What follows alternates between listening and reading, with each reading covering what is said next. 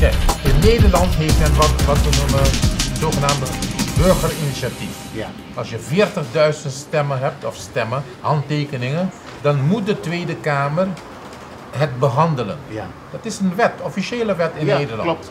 Ja? Als we dat, als we dat Toepassen. toepassen op Bonaire, dan zou dat betekenen dat als wij hier op Bonaire 35 stemmen zouden hebben, 35 handtekeningen, dat hoe dan ook het bestuurscollege, de NSA, dat heel serieus zou moeten nemen en het zou moeten behandelen.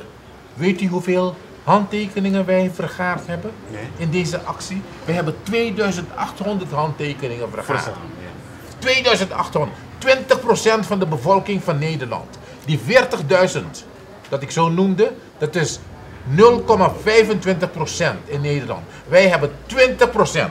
En de heer Ramoncito Boy, die, die grote leider van Bonaire, eh, eh, bekend van het Zwartboek. Het Zwartboek gaat over corruptieve zaken.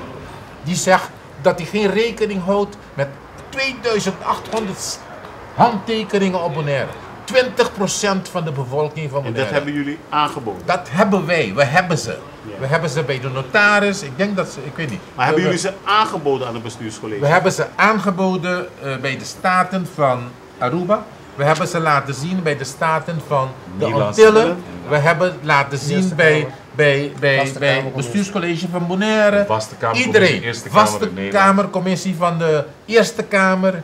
En niemand doet er wat van. En daarom zeg ik, ik neem, ik neem minister-president Balkenende kwalijk. Hij heeft een waarborgfunctie. Het gaat om de fundamentele rechten van de Antillen. Fundamentele rechten van Bonaire. En wat doet meneer Balkenende? Niets.